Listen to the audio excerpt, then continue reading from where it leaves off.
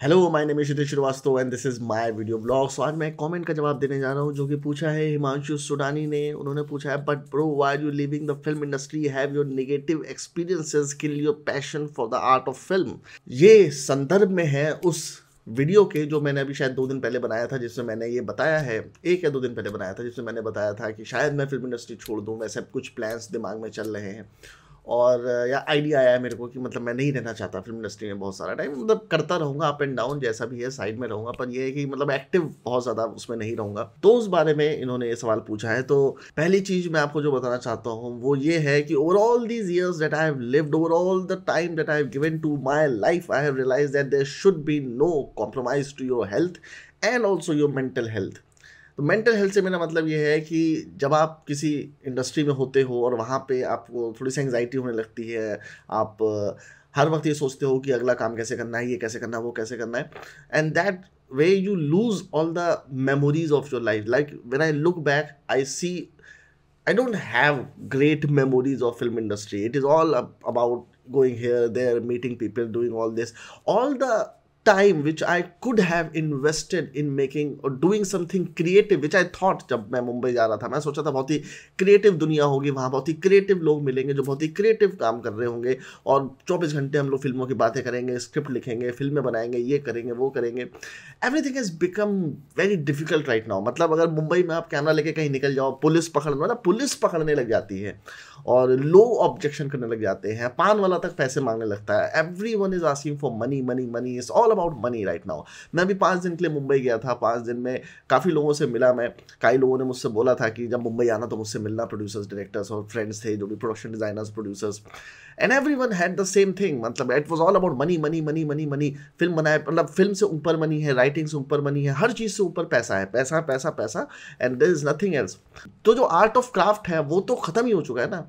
तो अगर पैसा ही कमाना है तो आप किसी भी फ़ील्ड में कमा सकते हो। और अगर मुझे फ़िल्म ही बनानी है तो मैं यहाँ भी बैठ के बना सकता हूँ। वहाँ बनाने से क्या फ़ायदा है?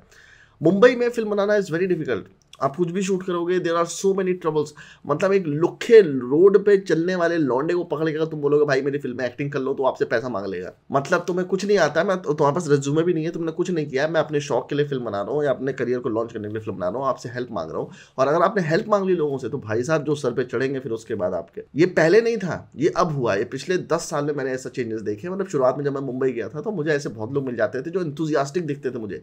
बट अभी मतलब जब से ओ टी प्लेटफॉर्म्स आए हैं कॉर्पोरेट आया है and they have start started you know rolling out money like anything and they're making huge profits on things on which earlier they never used to make profits because of syndication thing कि मतलब वो Indian content को बाहर की जगह पे बेचने लगे हैं ग्लोबलाइजेशन हो गया है इंडियन कंटेंट बाहर भी देखा जा रहा है जिसकी वजह से it's it's, it has been reduced to only money, nothing else. Even film festivals are all about money and lobbying and connections and everything.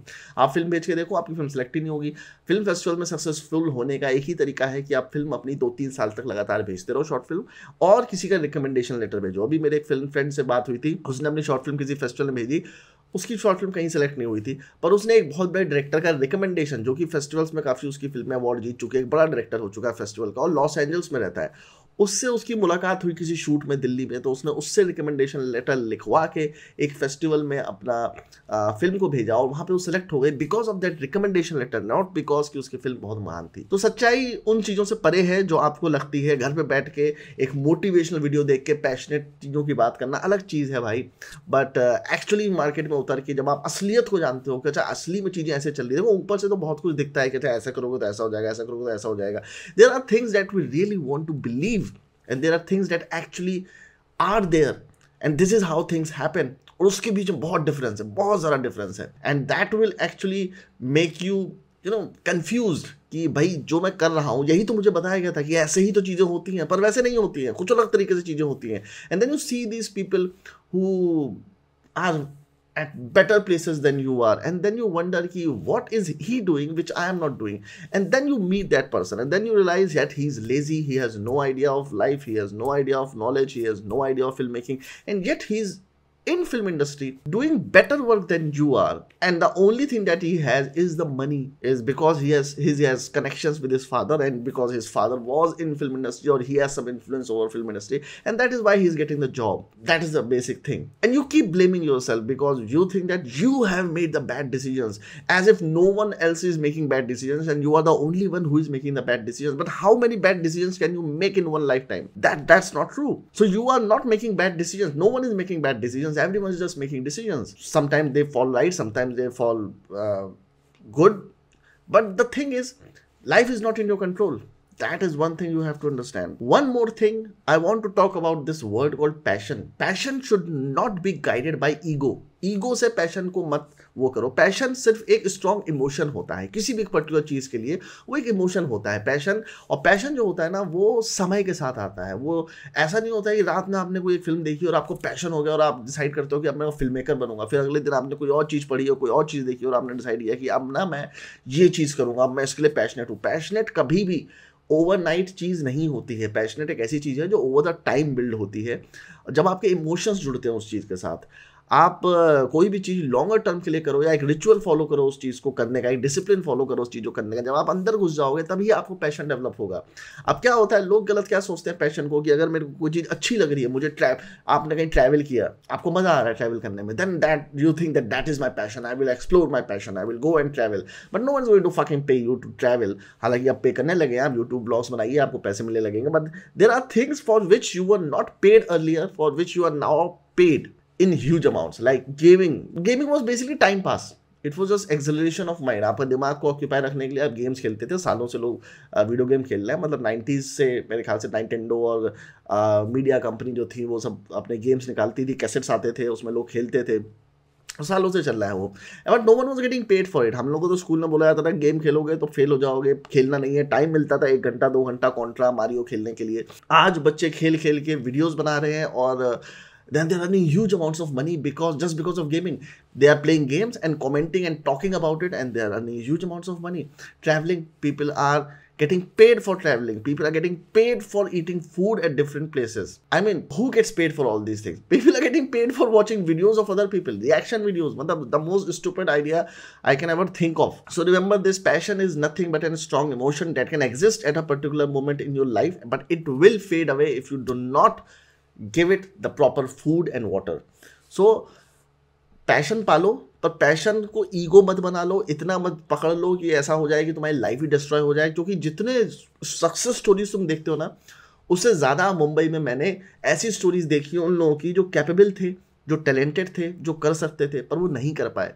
Because उन्होंने अपने पैशन को ईगो बना लिया था कि हम तो यही करेंगे, उसके अलावा कुछ नहीं करेंगे। और फिर उनकी एज निकल गई, और फिर वो एक समझ बात, उनको समझ में आ गया कि ये नहीं चल रहा है, कुछ भी करते हैं, वो नहीं चलता है because they won't stick to one thing for a longer period of time मेरा जो स्ट्रगल रहा है, वो इसी चीज़ पे रहा है। जो यूट्यूब वीडियोस मैंने वापस बनाने शुरू किए हैं, वो इसीलिए शुरू किए हैं, जो ये बीच मैंने बंद कर दिए थे। लास्ट ईयर मैंने सौ से भी कम वीडियो बनाए मतलब लास्ट ईयर मेरे ख्याल से जनवरी 2022 में मैंने जब अपना सिक्स हंड्रेड ट्वेंटी ऐसे कुछ वीडियो बनाया होगा। और मैंने मतलब पचास साठ से भी कम वीडियो बनाए हैं। Why because I was dis disillusion कि मेरे को ये करना है कि नहीं करना है।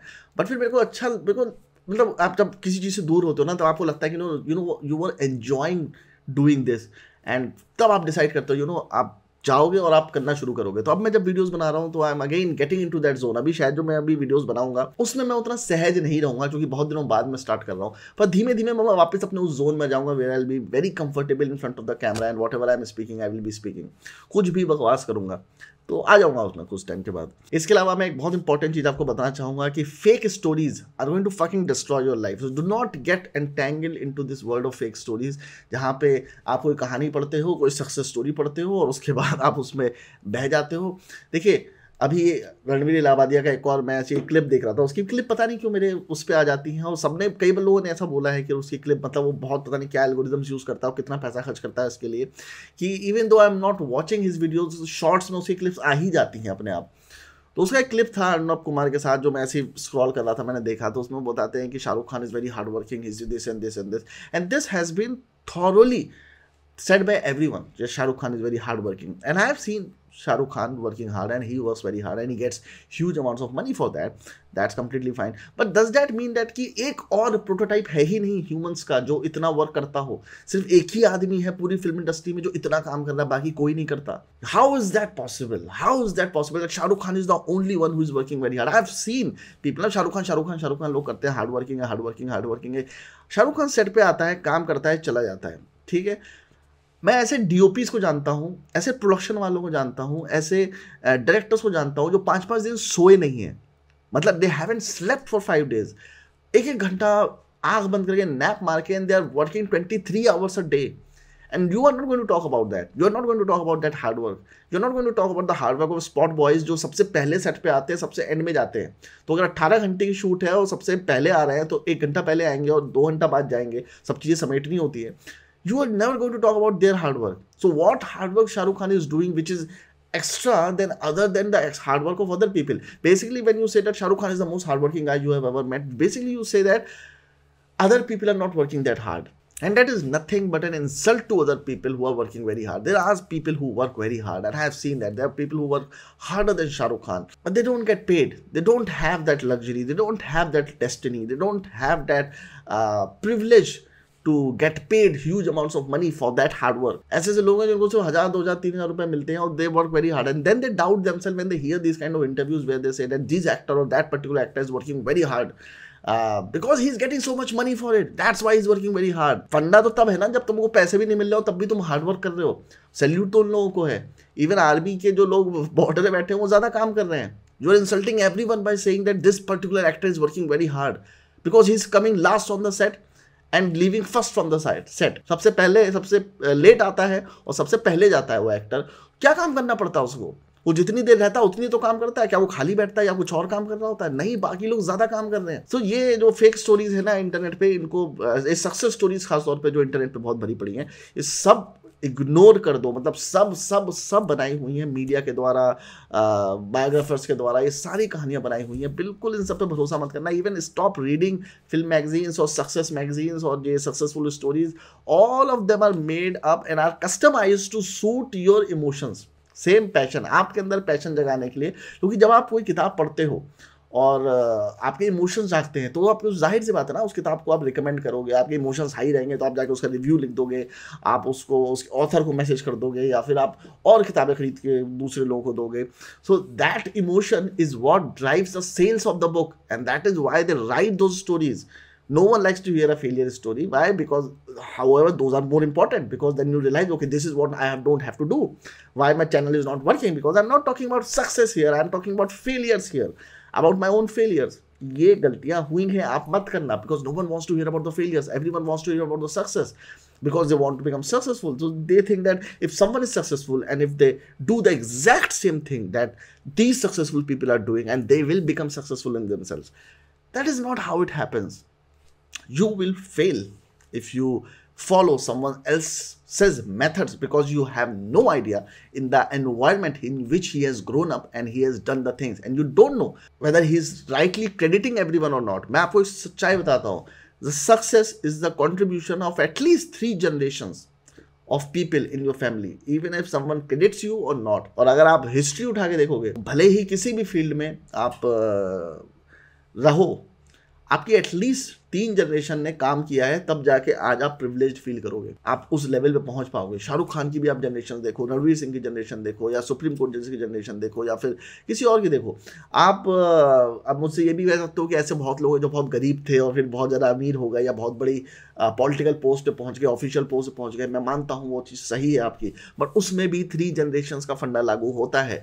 ये ज़रूरी नहीं है कि आपकी प्रीवियस जनरेशन ने बहुत पैसा कमाया या बहुत अच्छी ऑफिशियल पोस्ट पर प्रीवियस जनरेशन ने कुछ ऐसी माइंडसेट डेवलप कर लिया था जो उनके डेवलप करते करते आया और उसके बाद आपकी फाइनल जनरेशन ने उसको बहुत बड़े लेवल पे लेके चले गए। जैसे कि एक एग्जांपल राजमौली। राजमौली के फादर भी राइटर थे स्क्रिप्ट राइटर थे, उनकी फैमिली में सब राइटर थे और अच्छा फ़िल्म लाइन में ही काम कर रहे थे। एम एम क्रीवनी उनके कज़न है, जो अब जिनको अभी गोल्डन ग्लोब मिला है म्यूज़िक डायरेक्टर जो है, वो उनके कज़न है। उनकी वाइफ जो है कॉस्ट्यूम डिज़ाइनर है, जो एम एम क्रीवनी की भी कज़न थी दूर की और दोनों की शादी हो गई थी। और राजमौली के फादर ने कहते हैं कि बहुत स्ट्रगल किया है फ़िल्म इंडस्ट्री में। नाइनटीन में वो आए थे हैदराबाद से चेन्नई और वहाँ पे वो काम करते थे तमिल फ़िल्म इंडस्ट्री में, फिर वापस हैदराबाद आ गए। तो राजमौली की फैमिली के पहले भी मतलब उससे पहले सुनने में आया कि उनके शायद के विजेंद्र प्रसाद जो राजमौली के फादर हैं, उनके, वो भी काफ़ी रिच थे। बट के विजन प्रसाद की जवानी के टाइम में ही काफ़ी पैसा लूज़ हो गया था। काफ़ी कुछ प्रॉब्लम्स हो गई थी उनकी लाइफ में, जिसकी वजह से पैसे खत्म हो गए थे तो उनकी फैमिली सब चेन्नई शिफ्ट हो गई थी। वहाँ एक छोटे से कमरे में पूरी फैमिली जॉइंट फैमिली तरह रहती थी। वहीं पर एस एस राजमौली बड़ा हुआ है। बचपन से ही वो फ़िल्म लाइन में काम कर रहा था।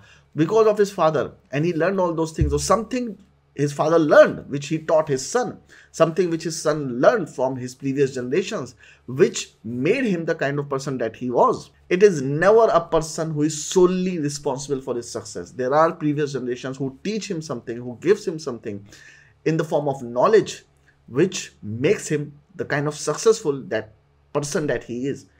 It is sometimes in the genes it is sometimes in the DNA and that's how it works तभी ये जो हिंदू में वर्ण सिस्टम है ना, वो जाति सिस्टम है, ये लोगों को समझ में नहीं आता, लोग इस पर अंड बोलते रहते हैं। पर सच्चाई तो ये है कि जाति सिस्टम बनाया इसलिए गया था बिकॉज़ हमारे पूर्वज डीएनए और जीन्स का सिस्टम समझते थे कि अगर मेरे फादर ने लॉ किया हुआ है और मैंने देखा है कि मुझे रीडिंग का बहुत शौक है, मुझे लॉ पढ़ने में बोरिंग नहीं लगता है, मैं पढ़ता हूँ, मुझे मज़ा आता है। I don't know for what reason but normally लोग नहीं पढ़ पाते उतना जितना मैं पढ़ लेता हूँ। It's in my genes because my father has been doing that for years मेरे जो ग्रैंड फादर थे, वो भी पुलिस में थे। कुछ उनकी हैबिट्स मैंने इनकलकेट की है, कुछ अपने फादर की हैबिट्स इनकलकेट की और उसका रिज़ल्ट मैं हूँ। तो बेसिकली मेरी जो जर्नी रही है, वो यही जानने की रही है कि सत्य क्या है, किस जर्नी पे मुझे आगे बढ़ना है। और इतना सब करने के बाद मुझे यही समझ में आया कि I love reading I love writing so I should continue doing that talking about negative experiences and why you are living film industry I would say that life is huge आपने उसको क्लोस्ट्रोफोबिक बना दिया है कि यही एक चीज़ है जिसको मैं कर सकता हूँ और बाकी कुछ ज़िंदगी में है ही नहीं। अरे, ज़िंदगी बहुत बड़ी है। लाइफ बहुत बड़ी है, ये अर्थ बहुत बड़ा है। तो इतना मतलब ज़्यादा बड़ा है ना, अगर तुम कॉस्मोस देखोगे काल सेगान का तो हमें समझ में आएगा कि हम लोग मतलब एक छोटा सा स्पेक है इस पूरी यूनिवर्स में। मतलब इतने इनसिग्निफिकेंट है कि हम अपने आप को कितना इंपॉर्टेंट समझते हैं। हम ह्यूमंस अपने आप को कितना इंपॉर्टेंट समझते हैं कि जैसे पूरी दुनिया हम ही, कायनात हम ही चला रहे हैं यूनिवर्स हम ही चला रहे हैं। हम मायने भी नहीं रखते इस यूनिवर्स में। इतना ह्यूज है ये। Then why are we taking this life so seriously that if we do this thing only then we can be we can give a meaning to this life अगर हम नहीं करते हैं तो हमारी पूरी लाइफ बर्बाद हो जाती है। नहीं, ऐसा नहीं है। You can do whatever the fuck you want and that is the beauty of life that you give this independence as a gift to yourself कि आप कुछ भी कर सकते हो, जो बना है वो करो। इट डजेंट मैटर लाइफ जैसे जीनी है, जियो, कोई रूल्स फॉलो नहीं करने, मत करो। आप सोसाइटी के रूल्स फॉलो करना नहीं चाहते हो, मत करो। आपको शादी करने का मन है, करो। नहीं करने का मन है, मत करो। आपका गर्लफ्रेंड बनाने का मन है, रखो। नहीं करने का मन है, मत करो। आपका लोगों से बात करने का मन है, करो। नहीं मन है, मत करो। आपका फ़िल्म इंडस्ट्री में जाने का मन है, जाओ। नहीं जाने का मन है, मत जाओ। You can have difference of opinions you can have different life and give yourself this independence to live a life which is devoid of any preconceived notions that is the most beautiful thing about life is. They, at least this is what I feel. See, in my opinion, life's goal should be the ultimate happiness. कि आप खुश रहो ठीक है और वही attainment जो है जिसके लिए हम लोग सब भागते हैं ये फेम का चक्कर ये पैसों का चक्कर ये अच्छे फैमिली का चक्कर ये क्यों है because ultimately you need happiness ठीक है security in life and that is what you are we are all running after इतने सालों से ह्यूमन सिविलाइजेशन चल रही है, वो क्या चाहती है? ये क्यों हम इतना फ़ूड प्रिजर्व करके रखते हैं? Because of the security because we don't want to go through the same thing that we have been going through previously शेर आज भी हंट करता है, पहले भी हंट करता था, उससे पहले भी हंट करता है. But humans have this tendency to think about the future and the past. I don't think any other animal has this tendency to think about the future and the past. And because we can think about the future and the, and learn from the past and think about the consequences in the future, and we understand that the things that have happened in the past can also happen again in the future. That is why we start doing all these things. हमने घर बनाने शुरू किए ताकि धूप नहीं लगे बारिश में हमें प्रॉब्लम ना हो तो हमने घर बनाने शुरू किए और खाना स्टोर करना शुरू कर दिया हमने मतलब इतनी ए लगा दिए हमने एरोप्लेन से चलना शुरू कर दिया रेलवे ट्रैक्स बना दिए मतलब हमने अपनी जो इनसिक्योरिटीज़ थी जो हमें पता था आगे प्रॉब्लम आ सकती है उन प्रॉब्लम को सॉल्व करने के लिए इतनी सारी चीज़ें करी कि ह्यूमन सिविलाइजेशन ग्रो होने लगा तो basically ultimate goal of life should be the ultimate happiness and nothing else and one important thing that I want to tell you is that life is not a compilation of your resume do not try to make a resume earlier, i might have said that you have to have a strong resume. Do not confuse that with this, कि अपना resume strong करो, काम करो, ये करो, वो करो। वो अलग चीज़ है। मतलब वो रेज्यूमे बिल्डअप करना है ताकि आपको बेटर काम मिले। This is not because a lot of people think that life is about a resume in the sense कि वो काम इसीलिए करते हैं so that they can tick mark thing मतलब एक बकेट लिस्ट वाला फंडा है ना कि ये सारी चीज़ें मैं कर लूँ। And that is way the pressure start building inside your mind कि अरे मैंने तो यहाँ पर ट्रैवल भी नहीं किया, अरे मैं तो फ्रांस भी नहीं गया, अरे मैं तो स्विट्जरलैंड भी नहीं गया, अरे मैंने तो थर्टी बुक्स जो पढ़ने को बोला गया था thirty books you must read before your thirty वो भी नहीं पढ़ी, मैंने ये भी नहीं किया। Even if you do nothing in life even if you sit and just spend your life looking at the Himalayas it's completely fine मतलब कोई फ़र्क नहीं पड़ता है। आप लाइफ को सीरियसली लेना बंद कर दो रेज्यूमे बनाना बंद कर दो आपका जो मन आता है आप करो आप सक्सेसफुल तभी हो पाओगे जब आप वो करोगे जो आपका मन करता है करने का भाई इतने सालों में मुझे यही चीज़ समझ में आई है कि I was trying to pressurise too much on me that I have to do this and there's nothing else I can do. And I was trying to convince me. See, inside of me, I didn't want to do it but I was trying to convince me that you have to feel interested in doing it. I am not feeling interested in doing it, but still I was convincing myself that this is the only thing that will make you happy. And when I was doing it, I was not happy. That was the biggest problem. So what will make me happy? Making a film will make me happy. But making the film the way Bollywood is producing the films is not going to make me happy. The contrived notions, the excessive pressure on you to change everything that you have written. कल मैंने एक producer को चार कहानियाँ भेजी थी और मेरे पीछे पड़े थे। और चारों में से एक भी कहानी एक हफ़्ते बाद मुझे बताते हैं चारों में से एक भी कहानी उनको पसंद नहीं आई। अब वो मुझसे कहते हैं रोम कॉम है ये है वो है। मतलब ही most of the producers think that writers have a shop they have written thousands of stories and they can give you any story. And uh, this producer has also for last three four years has been asking me for stories और पता नहीं क्यों मैं उनको भेज भी देता हूँ लिख लिख के। and he has never made a film in his life he has never done anything in his life but he is very nice to me so मैं कर देता हूँ but yesterday I was like, why am I sending him films? Because he has no intention of making films, but he just wants to feel important that he's in the process of selecting the right film and he's not getting the right film, and that is why he's not producing the film. The problem is he doesn't have a idea of what he wants to make. He doesn't have even the money, I guess, to make a film. Because if you have money and if you have intention to make a film, you will pick even a single idea and you will expand it and you will make your film. That is how easy it is to do anything. So in my opinion, filmmaking is just like doing any other thing. It's not something very special. It's not something very special. The only thing is special that comes with filmmaking is that it gives you fame and money at the same time, which no other profession does and that is why we are so much interested into it there's no other thing but it is much more important i feel is to develop sense of right value and character inside you अब ये आप लोगों को बातें लग रही होंगी यार तो अध्यात्म घुस गया स्पिरिचुअलिटी में घुस गया।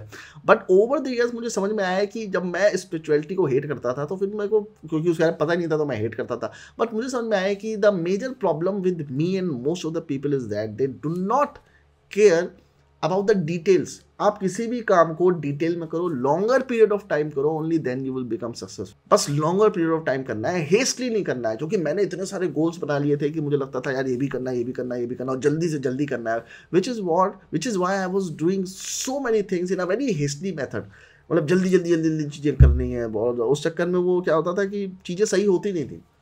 So once you relax and calms down and you realize, okay, these are the things that I have to do in a day. Only day wise I have to do these things. Only then you become relaxed and you and you give yourself some space. You give yourself you give yourself some time to do these things. And then you very calmly see things. Because when you are very calm and you do things very slowly, only then you see the details into it. And when you see the details into it, you make great changes to it. And that's when whatever you do becomes successful. If you try to do things in a very hasty manner, very fast, I don't think anything can become successful. So do not be overwhelmed by the perception of success that the media has created, the perception, the definitions of passion the CEOs have created just to, to give you a greed to come in and join their companies ठीक है? आप value कैसे बढ़ाते हो? सरकारी job की value क्यों है? सरकारी जॉब की वैल्यू इसलिए है क्योंकि वहाँ पे आपको सिक्योरिटी मिलती है जॉब सिक्योरिटी मिलती है, ठीक है? और कोई नहीं, चीज़ है। जॉब सिक्योरिटी एक्सट्रीम किसी कैसे इकनॉमी कैसी ओपन किया जा रही हो doesn't matter you will not lose your job जैसे कि अभी इतना गूगल ले ऑफ्स हुए हैं फेसबुक ले ऑफ्स हुए हैं वैसा सरकारी जॉब में नहीं होता है but what makes Google Microsoft all this company so exciting for the youngsters is because of the work culture because of the because of the CEO's speech that we have this kind of thing, we have that kind of thing. But do you really enjoy that process? I don't think that anyone in uh, all these companies are enjoying this process. Their YouTube is full of people who have quit their jobs at Microsoft and Google because they give you every fucking thing the best cafeteria, the best place to hang out, the best place to this, best place to that, but they won't give you the time to enjoy all those things. And I have seen that. I have been into a corporate world and I have seen that they just allure you uh, by giving you all these facilities but they won't give you the time to do this uh, do enjoy these things because the jobs are very demanding there's too much work there's too much work. And the work is never ending. You finish one work and the next work is coming. I hope i answered your question in the best possible manner i can. अगर अच्छा लगा तो फिर comment करना। और comment करना तो मैं उसके भी जवाब दूँगा। अगर कोई क्वेश्चन रह गया तो उसके भी जवाब देना। मेरे दिमाग में जो आता है मैं उसके हिसाब से आपको जवाब दे रहा हूँ। अगर अच्छा लगता है देन इट्स ओके अब मैं उसके लिए क्या कर सकता हूँ? बाकी मिलते हैं नेक्स्ट ब्लॉग में। बाय